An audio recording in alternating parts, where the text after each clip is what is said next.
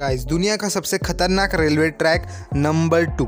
तो दूसरे नंबर पे आता है एसु मिनानी रूट जापान में ये स्थित रेलवे रूट और इसके खौफनाक होने के पीछे का राज है क्योंकि इसकी पटरिया जो कि इस रेलवे ट्रैक के साइड पे मौजूद एक्टिव वॉल जो कि यात्रियों को हर बार चौकित कर देता है इसकी एक्टिवनेस और का। इस एक्टिव वॉल्कन से निकलने वाला स्मोक और लावा के कारण जो गैस तैयार होता है, उसके कारण जो यात्री होते हैं, उनको अस्थमा या फिर कुछ बीमारियों का सामना करना पड़ सकता है। इसलिए इसे दुनिया का सबसे दूसरा खतरनाक रेलवे ट्रैक माना जाता है।